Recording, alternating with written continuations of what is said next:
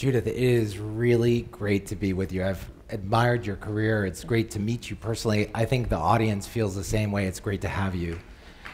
Thank you. Thank you. It's great to be here. Thank you so much. Well, let's start.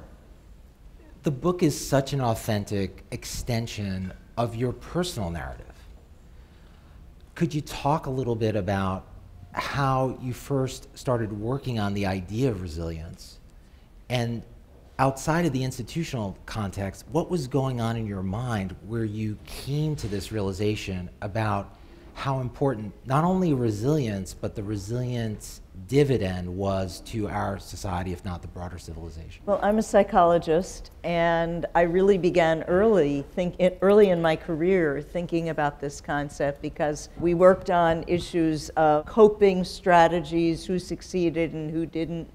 Uh, and what kinds of coping strategies were most effective, how feelings of control and predictability started to really impact people's successful outcomes, whether it was psychological outcomes or health outcomes. We didn't call it resilience then, but it really was the underpinnings of a lot of what later became psychological theory and resilience. For example, we, we did work on children who came from equally disadvantaged backgrounds, and 90% of them sort of wound up, as we would expect, in prison, out of school, and the like but 10% of them succeeded amazingly beyond all mm-hmm. expectations. And um, we studied what it would be and, and, and how they would do it. At that time, we really looked at it as a potential personality trait. Is this just something people are born with? And at the end of this work, and a message in this book, is that it isn't an inherited trait. It is a skill and a skill that can be taught and developed. And one of the reasons I wrote that book was, was to make that point and to really demonstrate the characteristics mm-hmm. that need to be built. Um, and there are five, and we'll talk about those mm-hmm. in order to, to um, build resilient people and institutions, businesses, and cities and, and societies. And I was so privileged when I got to Penn um, to have the opportunity to really work with our neighbors to transform mm-hmm. an extraordinarily disadvantaged uh, neighborhood, West Philadelphia, around the university. And we really came to understand that building resilience is a bottom up process. It's about building community trust and cohesion. It's about building all of the elements of institution, uh, from individuals to institutions, um, that enable communities and cities to move forward together. And um, as you know, I also wrote a book on that, um, Out of the Ivory Tower and Into the Streets, really looking at the role of and the obligation of urban universities to re-engage with their communities so that everybody is transformed effectively. When you were leading Penn and engaging the community in this effort, was the concept of resilience ever on your mind? Were you uh, making those connections between your work in psychology and the, the kinds of things that you saw that could be taught or learned or processed in a way that would help you in that role within the broader Philadelphia context? Um, not in the beginning. My response was a response that is so often the response when something bad happens to try to figure out how to recover from it. So my second month as president, a student, a graduate student, was murdered in the neighborhood. And um, as in all thinking about disaster recovery and responding and how resilience started to figure mm -hmm. into all of this, we sprung into emergency action, which immediately meant more policing, less students on the street, mm -hmm um, all of the things that are, are our typical responses in reaction right, to crime. Right. And we sat back and took stock of ourselves mm-hmm. and the neighborhood and really asked about whether there could be a new way. Could mm-hmm. we, as an extraordinary institution with such powerful resources, both financial and person resources mm-hmm. and knowledge, do something that would really fundamentally change the narrative about crime, about communities, about the obligation of an urban institution. And so we developed a strategy with and for the neighborhood um, that uh, had five parts to it.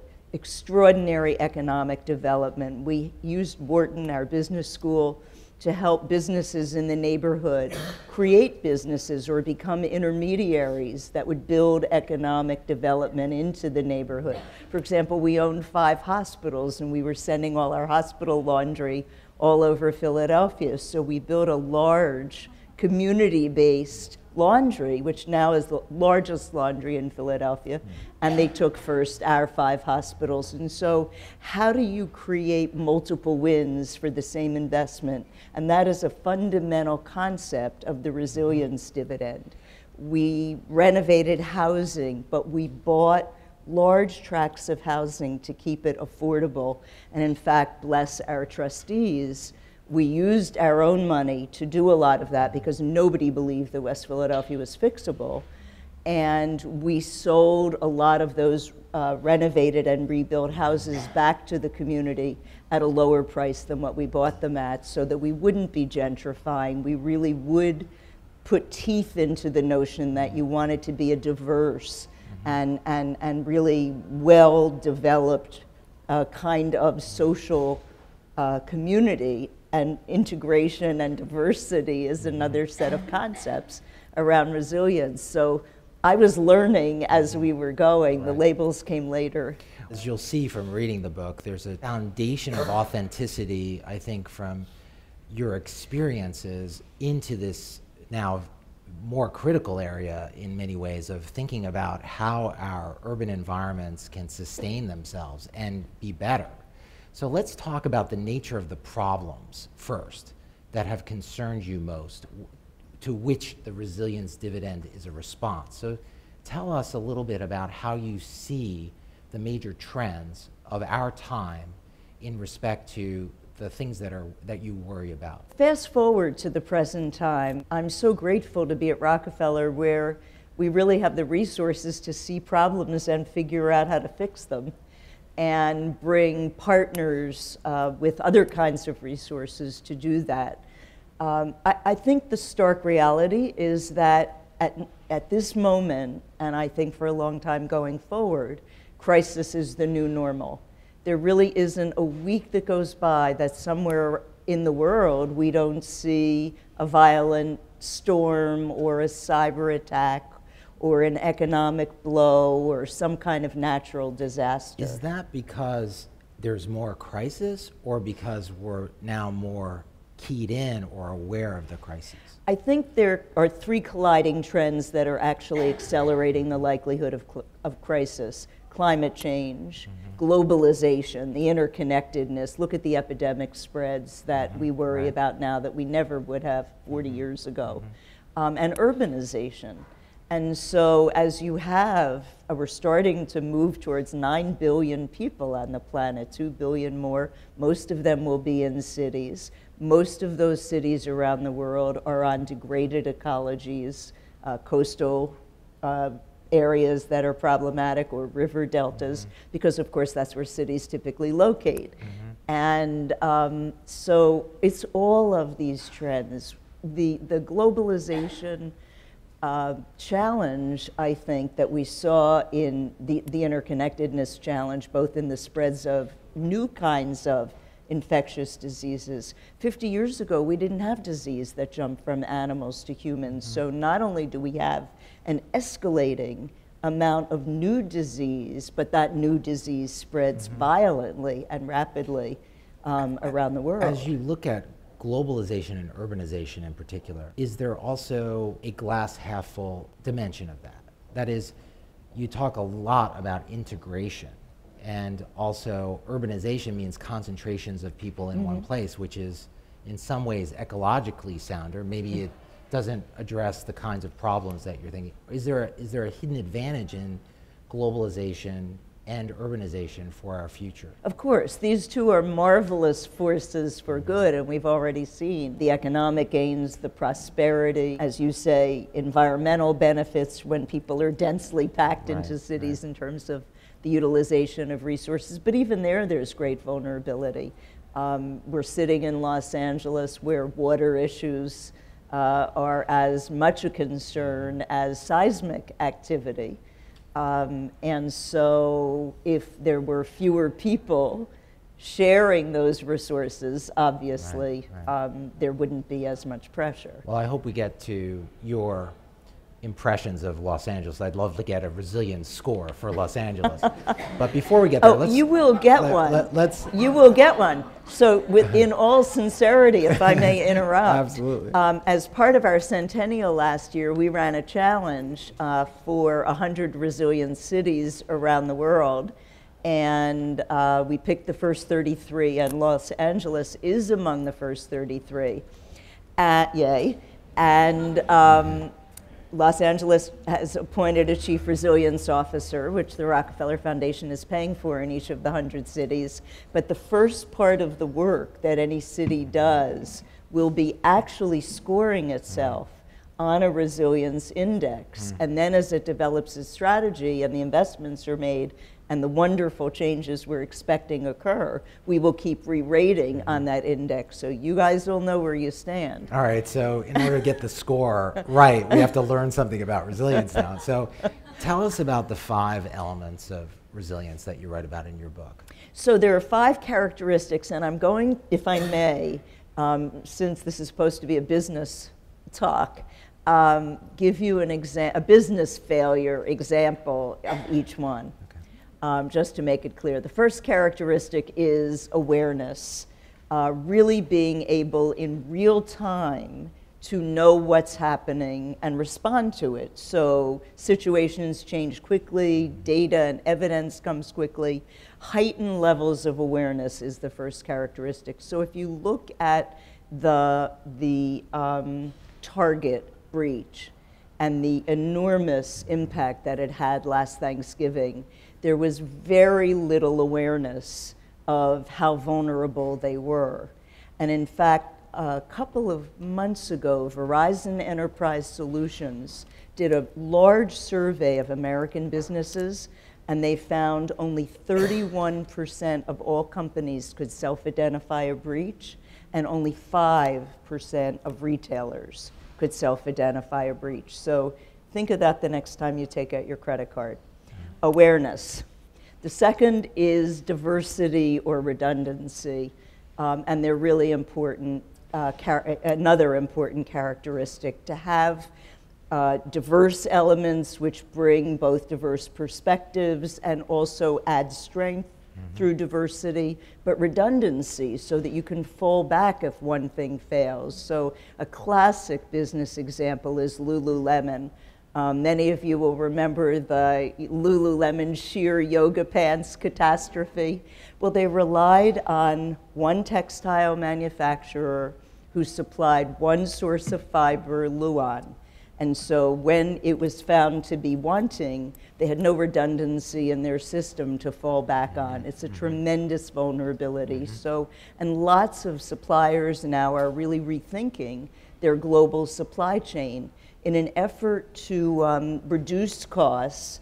There w- became a business trend called real-time supply chain. That's a very maladaptive. It's a non-resilient strategy. Um, the third characteristic is integrated. So the ability to share information quickly, that there is transparency, that kind of the right hand knows what the left hand is doing, and the after action reports that are coming out on General Motors show how badly integrated they are, that one division didn't know what another division was doing, one unit within a division didn't know what another unit was mm-hmm. doing, and so that lack of integration was one of the mm-hmm. elements of their vulnerability. The, uh, the fourth characteristic is self regulation. So, the ability to de network, to island something if something goes wrong, mm-hmm. so that you can fail safely rather than catastrophically. And a great example of this is that energy companies are now putting in smart grid technology because a smart switch allows them, if one piece fails, to not take, to de- really network and not take down the whole system. So, very important uh, element. And then the fifth characteristic is adaptability, the ability to be nimble and flexible, to change in real time, um, and to benefit from, to grow, and to revitalize through that adaptation process. Again, a very cool business example uh, is Best Buy. Um, Best Buy uh, used to be called The Sound of Music. It was in uh, Minneapolis, St. Paul. And in 1981, it was ravaged by, uh, their stores were ravaged by a terrible tornado. 25% of all businesses never recover after a disaster, so adaptiveness is a critical characteristic. Um, what they did was throw out their entire model, which was stores and counters and sales, high pressure salespeople and home delivery. They put out big tents because, after all, their stores had been destroyed, opened all their inventory, slashed prices to rock bottom. Two years later, seeing how successful it was, they changed their name to Best Buy, and they are now, of course, one of the largest electronics mm-hmm. retailers mm. in the world and they've used that adaptive strategy to weather other storms. The threat of competition, online competition like Amazon, again, they're adapting, and you can see it mm-hmm. as they've evolved mm-hmm. over all of these years. So these are critical characteristics. You can see features of them in businesses that succeed and in businesses that don't do well. Are these five elements at the heart of your scorecard for evaluating resilient cities? Yes, all those characteristics are there, and cities are going to be evaluated on four domains hard and soft infrastructure, leadership, community prosperity, community cohesion, the fabric and well being of community, and then livelihoods and economic capacity. And in the context of cities, are there any tensions between these characteristics?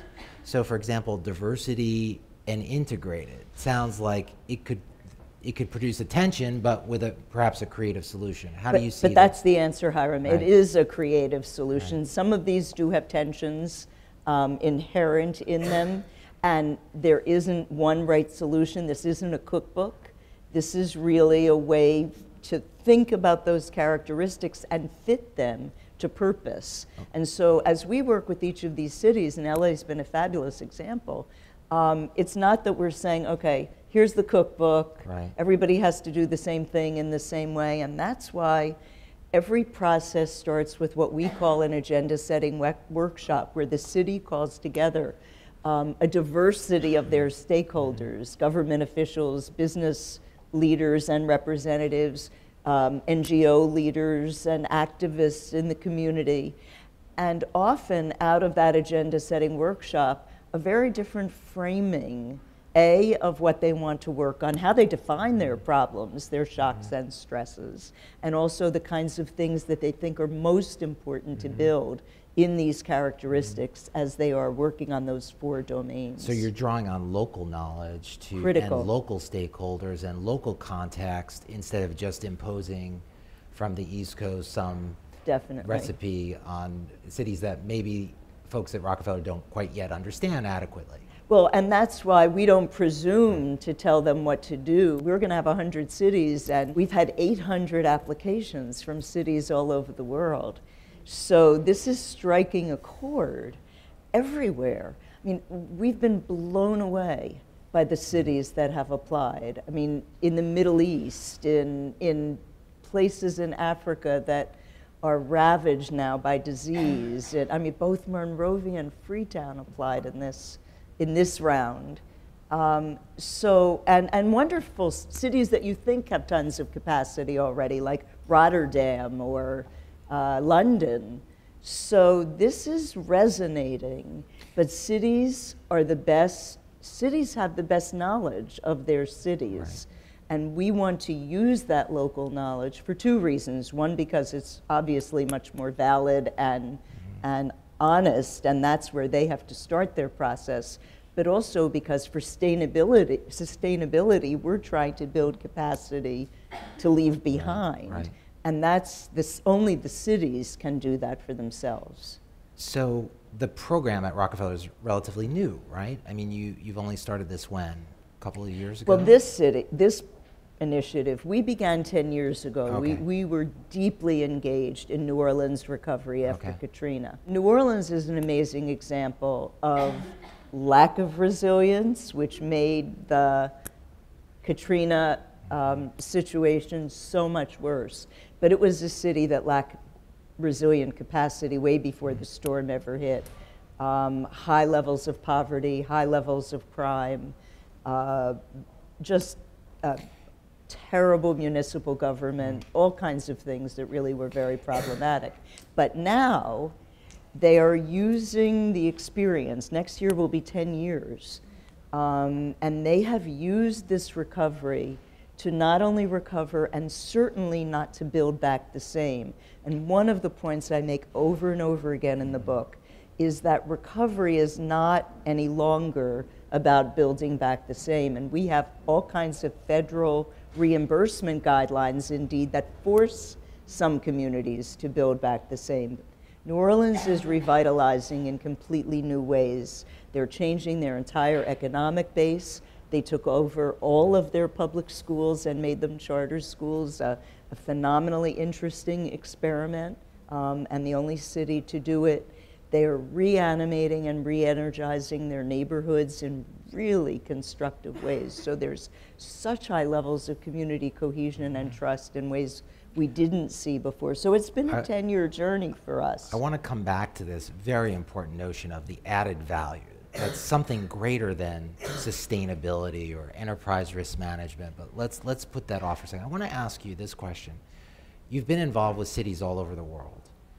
Are there any cross-cultural comparisons you could make about different propensities in different countries about how resilient they are? Are there particular places that do this well or poorly? In particular, the United States. Would you say that you find the United States to be more or less resilient than what you find in other places? That's a very important question. We do not. Hmm. We find a diversity of resilient cities in the US, and we find the same thing all across the hmm. world. In a, in a way, that's what's made this work so hmm. interesting. We've seen some amazingly resilient cities who have these five capacities in very, very poor countries. So it's not only about the material resources, the mm-hmm. financial mm-hmm. resources, it's, it's way more than that. And, you know, we, we had a huge experience with this in New York in our own recovery from Superstorm Sandy. And I chaired the Recovery Commission for mm-hmm. Governor Cuomo. And we were determined to build, well, I was determined, and therefore the commission was determined to build in resilience characteristics in all elements of our recovery. So um, we have a very significant home buyout program for the most damaged houses that are in the most flood prone areas. Um, 321 homes in Staten Island have been bought by the state using recovery money. We've got, and this will resonate in an architecture building, um, we've got to change our paradigm really about water. We've got to learn how to live with water rather than pave and mm-hmm. pipe and mm-hmm. pump, which has been our traditional paradigm. Mm-hmm. And so, where the land will now be reclaimed because those houses have, have been destroyed and the, the homeowners have moved to less flood prone areas, um, natural estuaries will be reestablished. There'll be soft green infrastructure, parks, and recreation will be developed, and all of the surrounding communities, therefore, will be protected um, from flooding and, and wave action in ways that were impossible before. So this is an important principle of adaptability. That is Absolutely. the ability to recognize forces outside your control and to go with them in a way, right? Not to always resist or fight them Right. with a single design. you know, we, Rotterdam is one of our cities, but Rotterdam has really learned how to live with water. And they've learned through both soft and hard infrastructure, so there are design principles here. Um, in one, we, we uh, some of you may know, and we're about to take this national, which I'd like to mention, but for the last billion dollars of recovery money that HUD had, um, for the Sandy affected areas, we and HUD ran a competition called Rebuild by Design. And the purpose of the competition was to bring teams of architects and engineers and landscape architects and, and, others um, in a global competition. And the criterion was you've got to build more resiliently and you've got to really engage the affected communities. This can't be about parachuting in the experts to figure out the best recovery design. And so, one great example, one of the six winners, um, is a project called the Big U that the BIG firm uh, led. And it's the, an, a 10 mile uh, storm surge barrier around lower Manhattan. But instead of just building a kind of concrete, ugly mm-hmm. storm surge barrier, which was what the initial plan was when the first thoughts about recovery occurred, they integrated with the community and they developed extraordinary design features. And each community got something that they needed as part of the design. So one community is getting more bike paths and recreation space, another community is getting really adaptable market space for outdoor markets, which will spur economic activity. A third one wanted it for art installations. So for one investment, five paybacks. That's the resilience dividend. I suppose in your process design, you got the people around the table who had that particular idea or input, without which you would have just had a big barrier. Absolutely. And when the 10 finalist teams presented, what was most heartening, and we did it in a big open space, and thousands of citizens mm-hmm. came um, just to hear and to see, which was wonderful. Um, what was most exciting to us was every presentation was made by the experts and the community members. So it was really, in the end, a shared project. I am convinced that those communities, and we're watching them and studying mm-hmm. them, are developing enormous amounts of cohesion and mm-hmm. trust and capacity as a result of that process. And so HUD liked this so much that there's another billion dollars that they get to spend on the 67 communities that have been declared around the whole United States that have been declared natural, have had declared natural disasters over the last three years. And we're running a national competition like this. So we're trying to get this notion of the triple wins that you can get by building more resiliently. But you know, Hiram, I raised the federal guidelines, the policy issues. So um, I, am reminded by the state of Vermont, and they're participating in the national competition, that in 2011 they were terribly uh, affected by Hurricane Irene. And there was tremendous flooding, and so they rebuilt their uh, culverts and, and protections uh, in the rivers and, and streams in a very innovative way with structures that bent and that mm-hmm. were porous and that um, took in water quickly and released water more slowly. I mean, really innovative. They can't get reimbursed for, from FEMA mm-hmm. Because the Stafford Act is requiring that they had to build it back the same way. This is nutty. Mm. It's like government malpractice. So, so that's when restoration is revitalization negative. So, yeah. right? So let's get into your three R's because I want to get into the program. Tell us about the three big R's in your program. I've talked about the five characteristics, the three R's that need to be attended to, and, and why we think there needs to be a paradigm shift. Because the first one is readiness, preparing. We can't always look in the rearview mirror preparing for the last crisis. And this realization came to me really in chairing the, the state Sandy Commission because after 9 11, so many of the businesses downtown put their generators in the basement because the next attack, of course, was going to come from the air. And then in Sandy, they all got flooded. So this is not preparedness for a, specific crisis, right. but preparedness for any crisis. And I really need to give a kind of sister city example to LA, and that's San Francisco. San Francisco has amazing preparedness.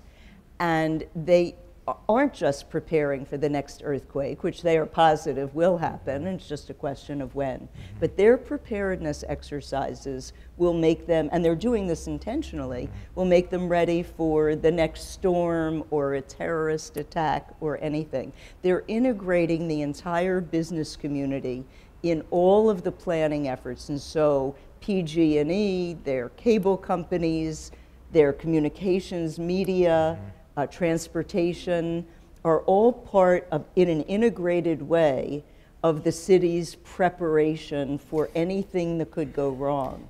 They're taking advantage of the emerging sharing economy businesses in the Bay Area, Airbnb, Uber, mm-hmm. Lyft, because they define resilience. They're about how you use excess capacity in really creative ways they've they're using Fleet Week, which used to be, you know, an annual bar crawl mm-hmm. in San Francisco, now as emergency preparedness practice sessions with their citizens. And it's an amazing thing to watch. For those communities that are, say, less evolved than San Francisco or any organization, looking out at the variety of risks and crises, it can be overwhelming and it's also hard to know which thing is going to occur and how much energy to invest in any one particular area. What advice would you give to an organization that perhaps is unresilient or non resilient and is looking out at the world, knowing that there'll be an earthquake at some point, knowing that there'll be fire, knowing that there'll be a, sh- a mm-hmm. live shooter, knowing that there are other types of crises or risks? How, what advice could you give to, to an organization or to a leader in that particular type of so situation? The example that I just gave refers to any crisis. So they are spending some appropriate time thinking about a specific crisis, particularly earthquakes and uh, worrying about the soft story buildings, as you are here in LA and the like. So they're not ignoring the highest risks. Right. But the kind of preparedness that I just talked about doesn't require defining which risk it will be. It's an integrated set I of see. responses for any crisis. And that's the critical point of building resilience. So, so that's the, brilliant. You build a core of responsiveness exactly. that is adaptable to the crisis. That's the point. Okay. So that's the preparedness part. Okay. Recovery, I've already talked about a bit, okay. that you can't recover the same way.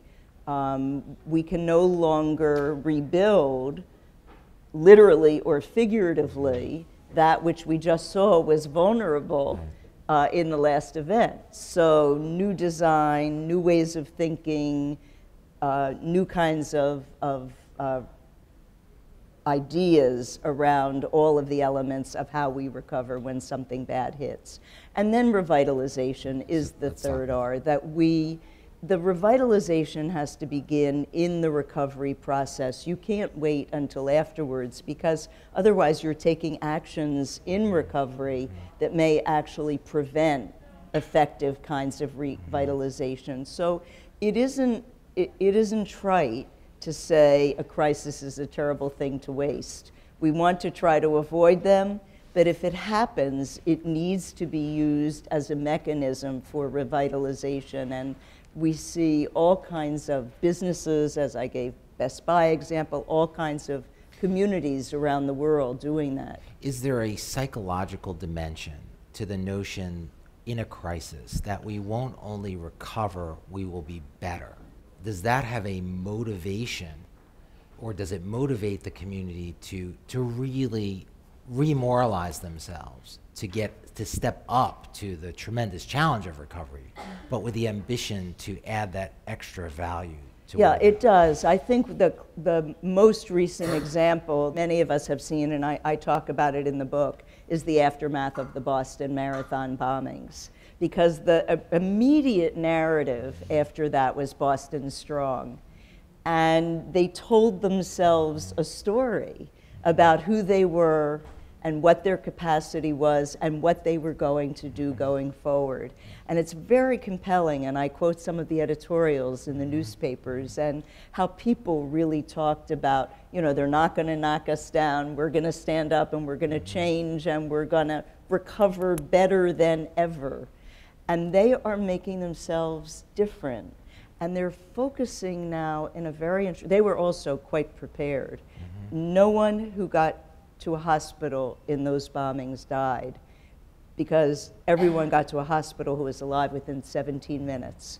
And that was because they, again, had extraordinary preparation. They had decided in these integrated preparedness exercises that um, the FBI was always going to be the lead agency no matter what went wrong. If it was terrorism, if it was a flood, if it was a nor'easter. So everybody knew who was on first. They decided that Deval Patrick was going to be the communicator and continuously communicate with the mm. public. No, no mayor, no police chief, no, he was there, and they all knew that he was on mm. first. So you can see mm-hmm. again in this preparedness, the recovery was so much quicker. Resilience is about preparing for disruption, building the kind of capacity that allows you to rebound more quickly and more effectively, mm-hmm. and then this capacity to grow and adapt. So let's talk about the dividend. I mean, it would have been enough for you to write a book called Resilience, but you added the resilience dividend, that there's something else down the line of this investment that produces an enormous return. Tell us about how you came up with that concept and what it means to you. So the concept really reveals two principles. The first is that the investments do allow you to rebound more safely and effectively because you can't predict or prepare for every crisis. So the goal here is to manage the avoidable and avoid the unmanageable, and therefore to kind of bounce back more effectively. So that's one piece of the dividend. But the second piece, and this emerged in the work, this was not a notion that I had before that, is that if you make these kinds of investments that we've been talking about, it yields benefit in the good times too. Mm-hmm. So you really are getting more bang for the buck. So a few examples. Um, much greater social cohesion. I've talked about the kind of community capacity mm-hmm. that's built when you d- do this. So you have lots of community trust, lots of good things happening in the good times. Lots of goods and services are emerging from those investments that are building economic capacity back into cities in new and different ways. Mm-hmm. So think for a moment about the characteristics that I talked about. Um, big data analytics, allowing awareness. It, it's what they are there for. And so lots of use of new jobs and new kinds of services in cities that are incorporating that. Um, new kinds of sensing mechanisms from the Internet of Things, creating awareness and also uh, adaptability. Mm-hmm. Uh, 3D printing, which is an amazing resilience kind of company. We saw a company after Typhoon Haiyan in the Philippines last year that 3D printed housing, relief housing, out of the debris from the typhoon within 24 hours. You know, we're sitting there waiting for FEMA trailers. So it's, it's an amazing thing mm-hmm. to see these kinds of new goods and services. And so we worry about new growth models in the United mm-hmm. States. Resilience building does that. Or I'll give you a classic one, you know, back to my Sandy recovery stories, but again, it shows it so clearly. So, one of the designs that came out of the Rebuild by Design for Hoboken um, will show the resilience dividend. So, they have tremendous flooding even when it's not a superstorm. They also have very little parking space and virtually no green recreational space. So, the rebuild is doing underground parking garages that are using a Dutch engineering technology that will make them water overflow tanks in mm-hmm. times of flooding.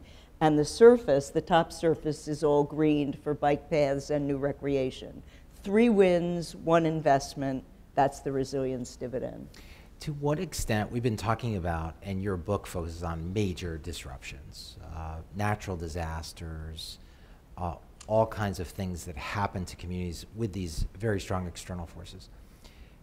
is there any room for thinking about resilience uh, as applied to the chronic problems? Yeah. Uh, we have 38,000 automobile deaths a year. We have 10 million felony crimes in our country every year. We still have vast pockets of hunger and poverty in the country.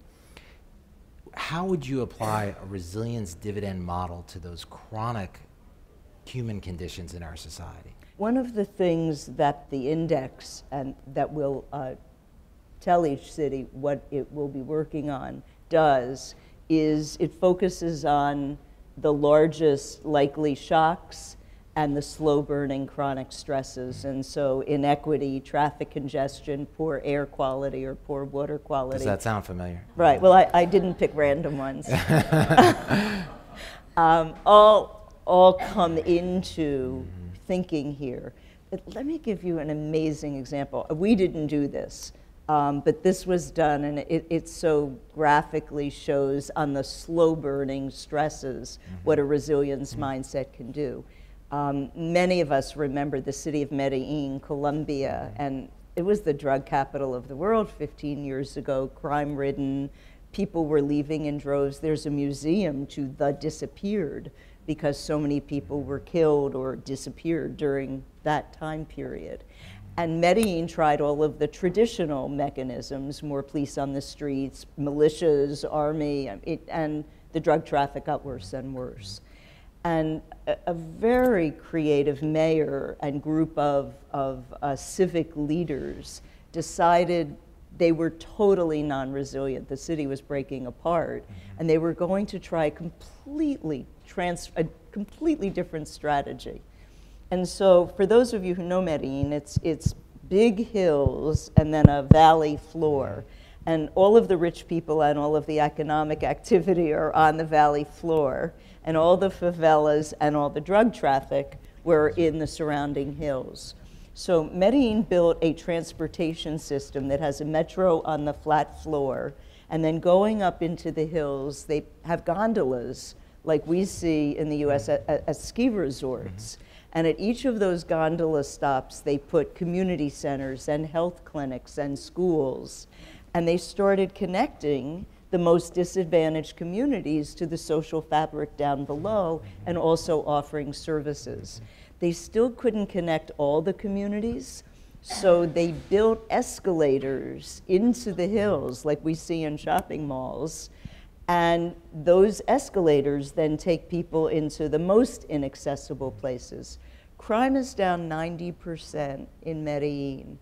Social cohesion is extraordinary. It's not that they don't have problems, but they are such a transformed city and society. I hadn't known what they had done, and they were one of the applicants for the 100 Resilient Cities, and they told us their story. And it is a story of how you confront a slow burning stress like crime and inequality and drug traffic in a new frame of thinking and, and really do yield the resilience mm. dividend. Wonderful. In 10 years, how will the Rockefeller Foundation know that it succeeded? What are the, what are the metrics that you're thinking about for the future in this program, and will you continue it? Right, so I'm an empirical social scientist, so of course we're measuring like crazy. Um, we have baseline data on all of the cities, and we will, on all of these uh, characteristics and features that will be identified through the index. And then we have a variety of near-term and shorter and uh, longer-term measures. So we're paying for the chief resilience officers for each of the cities for three years. One measure of success for us is whether the city then picks up that salary afterwards. This is an innovative position. The role is to integrate across all of the silos in city government and to connect city government with all of the other elements of society and civil society and business and the like. Um, it's a very revolutionary concept. Some cities are already sort of figuring it out, but a lot of the chief resilience officers are already bumping up into against the traditional silos. Mm-hmm. And so, how engaged are the mayors and the like are other kinds of measures. But we will measure, are measuring community cohesion, reduction in crime, improvement in education, leadership variables of one sort or another, economic development. Um, we think uh, all of these metrics are readily accessible, and we've been working with uh, Arup the uh, global firm to actually develop very micro indicators of all of these variables, and we'll share them with the cities. Well, this is a profound contribution to our society. I think we're going to open it up for questions. I'm Lori from the Colburn School in Los Angeles. I'm wondering if um, the foundation or if in your book, if you address the resilience dividend in terms of organizations. I do. First of all, businesses are organizations, but I talk about a variety of kinds of organizations and institutions in the book because I am absolutely certain that this applies as readily to an individual, to an organization, to a city, to a society. And so I tried to sample in the book a variety of examples that would really make that point.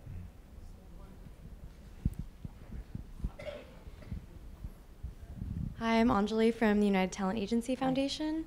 Um, I was curious if you could share some insights from the resilience report for Los Angeles. Um, were there any things that you thought were particularly good or particularly bad?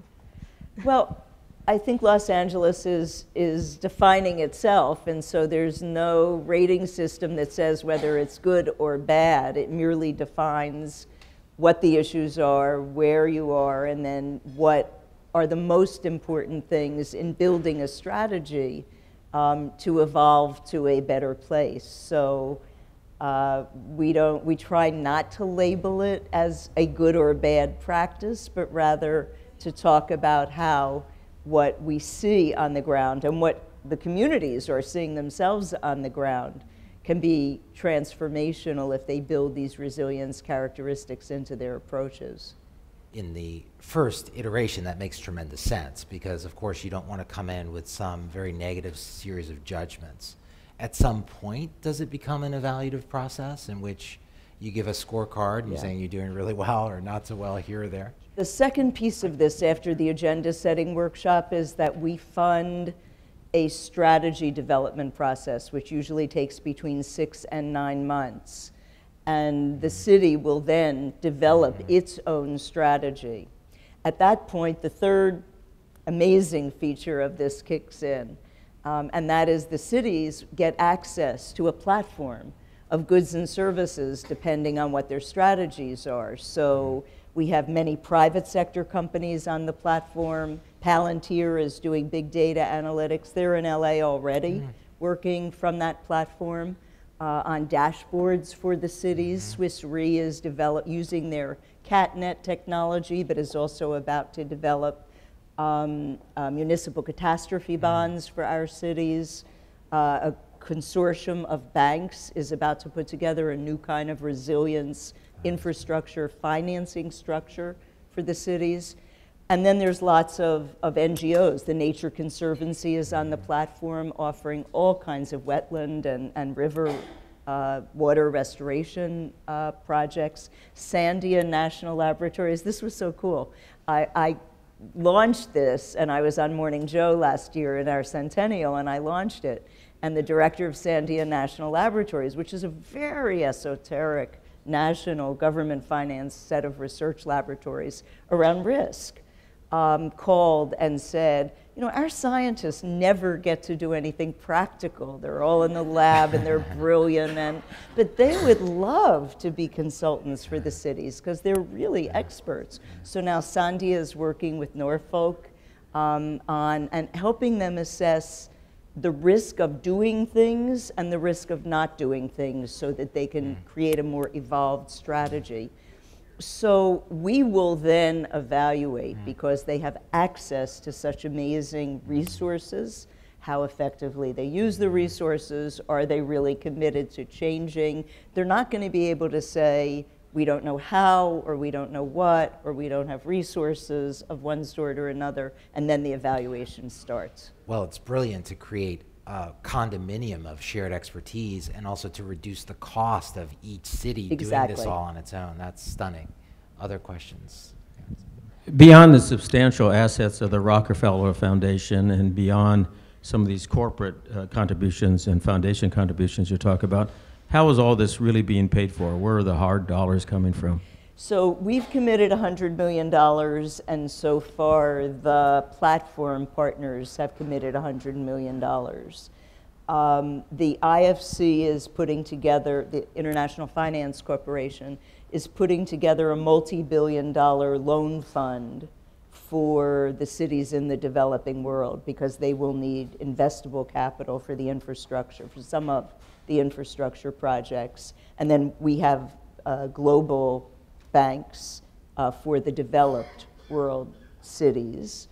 Um, it is our estimate, and we've done work here. Uh, in particular, uh, we finance the development of the West Coast Infrastructure Exchange, which is a collaboration among California, Oregon, uh, Washington, and British Columbia to bring private capital to public infrastructure projects. We see such success doing that in Canada and in Australia, and we see a lot of private capital sitting on the sidelines waiting for American states and cities to develop an ROI, develop a capital budget, develop a long-term planning scenario. And part of these processes is to help them do that and develop a series of infrastructure exchanges that will not only make public finance more effective, but will crowd in private investment. Hi, so very compelling conversation and thesis. To the extent you have um, you run into objections or resistance in um, your programming. Where do they come from, and on what basis do you run into those objections? Are they uh, political, philosophical, economic? Can you comment on that? Yeah, all of the above. so, um, in the first cohort of cities, uh, I think it sounded like such a good idea, and everybody who, you know, many of the cities who applied thought, well, how could this be bad? We're going to get all this free money and we're going to get a chief resilience officer and blah, blah, blah. And they didn't realize that when the rubber hit the road, they would really have to do stuff like break down the silos of government, truly listen to their citizens, interact with uh, private business in ways that may feel uncomfortable unless you're regulating them. Um, and for some of the cities, that's been quite difficult. And I must say that in the second round, and we're about to announce the second round of cities in Singapore in December, we've had we've come into all of the finalist cities and had what we call looking in the whites of your eyes conversations because we really want to make sure they know what they're signing on for. Um, these are fundamental changes in the way cities operate and they need to really understand that and, and be able to deliver on it. Hi, I'm Tyler. I'm a student at Claremont McKenna. Um, my question is about uh, the types of challenges that organizations or institutions face. Um, and when I think about our college or many other organizations like it, I see fewer challenges to infrastructure and more challenges that kind of degrade the emotional well being mm-hmm. of an institution or organization what sorts of recommendations do you have to mitigate the effects of challenges like those? Well, hopefully you've heard in this conversation more than about infrastructure, but infrastructure isn't only about buildings or coastal wetland restoration. Infrastructure is about the infrastructure of a community which is about trust and is about cohesion and is about adaptability. And those are such critical characteristics that need to exist on a college campus. And um, a lot of things that happen break down those elements of trust, or they pit one element of the community against one another. And I think one of the roles, one of the privileges, and I, I think Hiram will agree, of being a university president is to develop a more resilient community. Uh, I was president of Penn during 9 11, and um, that night, as we talked about what had happened and what the geopolitical forces were that were really driving behaviors like this, um, we held a candlelight vigil on campus. And I said to the Penn students, I was an undergraduate during the Vietnam War, and we thought we could change the world, and we did. And so go out tonight and figure out how you can change the world to build cohesion, to build more diverse and integrated social fabric at the, this institution. I learned, and I didn't tell them what to do. I learned the next day that a huge group of the Jewish students went to visit the dorm rooms of the Muslim and Arab students and just reach out and say, we're all Penn students and, you know, we have to figure out our friendships. And it was pretty amazing for me as president mm-hmm. to learn that the next day. We picked intentionally in our first cohort of cities Ramallah, Palestine, and Ashkelon, Israel.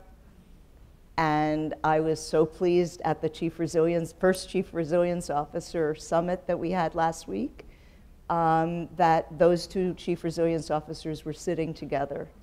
And, you know, if we can build resilience that bridges differences, that builds trust, that develops understanding, we will build capacities in our institutions that will make them able to endure anything, and they will be stronger in the good times.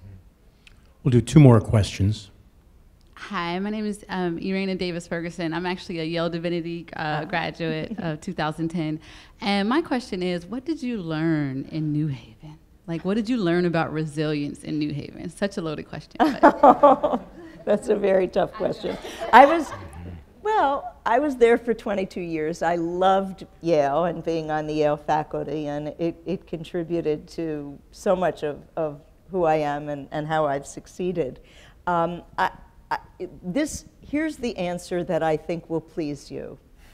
In the second round of applications, so normally each city applies separately. In the second round of applications, we had a triple joint application from Stamford, Bridgeport, and New Haven. And they asked for only one chief resilience officer who would report to all three mayors as a way of finally trying to have Connecticut figure out how to be a more integrated, more resilient set of communities. And I am so pleased and proud because that is very different than what I experienced when I was there. And our final question. Hi, I'm Kira. I'm a student also at Claremont McKenna College. And my question is about the future of the Resilience Initiative. Do you, or I guess, does the Rockefeller Foundation and its partners see the future of this initiative as going deeper into the cities, infiltrating not only the public institutions, but the local businesses, the community groups? Or do you see it spreading like wildfire across the world? What's the future of that initiative? You know, that's, that's such an important question because we're still asking ourselves that question. We will be in all of the segments of that city's society in the three years we're working with each city. But we are now asking ourselves, should we stay in those 100 and go deeper beyond the three years, or should we try to spread it? The good news is that the spreading may happen naturally and they may not need us. One of the things we've seen that's been so phenomenal is that in the first agenda setting workshops, we've seen mayors invite lots of other mayors from their country to just come and learn from the process. And we think that's really cool because it will spread. What we're trying to do is create a movement. We're worried about the future, and we think we need a more resilient world. And maybe this can start to spearhead because we see all the innovation and creativity from the ground up, both in communities and in cities rather than in national governments, including especially our own. Um, and so we hope that in seeding these ideas, we really are seeding a movement that will take hold, and we'll just sit back and be proud parents. It's an extremely insightful book. Judith Rodin is an inspiring leader, and this project is a profoundly impactful one. And I want to thank you on behalf of all of us so for being here. Tonight. Thank you.